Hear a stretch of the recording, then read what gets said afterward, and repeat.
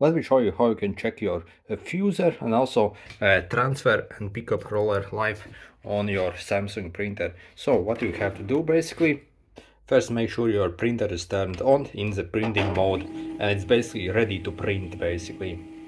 So wait for this to stop blinking and it's ready. Now what we have to do on pretty much all of them, we have to press that other button apart from the power button. So it will be, they have basically two buttons, all Samsung printers. So you have to press and hold the upper button basically and keep holding it.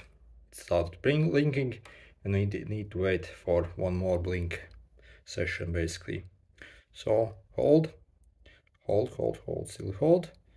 Once it stops, once it stops but basically blinking we can release it. And it will start printing out this information here.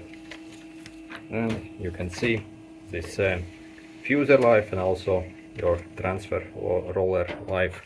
Also you can see your remaining capacity of the toner and total prints here as well also when you do this procedure basically and it can uh, basically prints out this uh, configuration page then you basically need to press longer. So it really depends on some samsung models models. It's a bit different on each other. So if it uh, basically prints something else out uh, some configuration page again press it longer basically. So the slides uh, blink for like several sessions basically.